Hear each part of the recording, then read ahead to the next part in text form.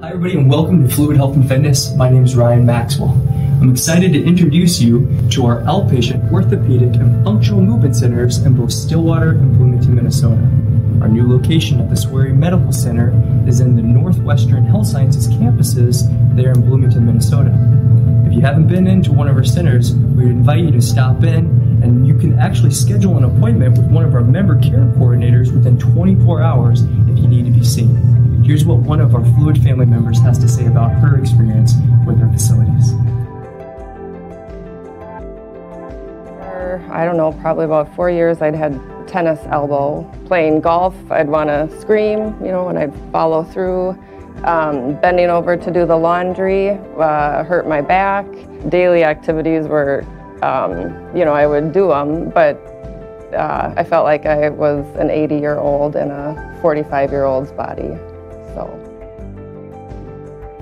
So, when I first started with fluid, um, what I noticed right away is that it was a whole body approach. Uh, it wasn't just treating, you know, my hip um, or just treating my shoulder.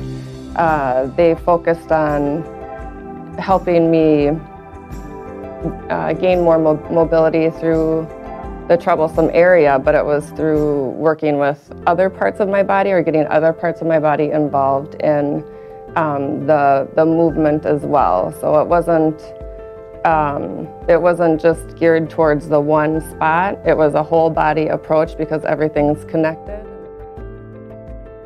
I went to a lot of different places trying to be um, proactive and advocate for my health and find solutions. Um, and a lot of people really tried to help me, and they'd help me a little bit, you know. And I think everything um, that I did was um, good for the time being, but it never got me to feel good for longer than probably three months. And so I would say start with fluid now.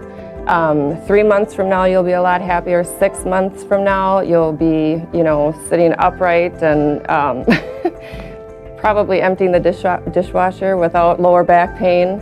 Uh, and then hopefully, you know, nine months and, and down the road, you'll be back to doing some of your activities that you really love to do and felt like maybe you couldn't do anymore. So I'd say start now. Don't wait. Don't wait.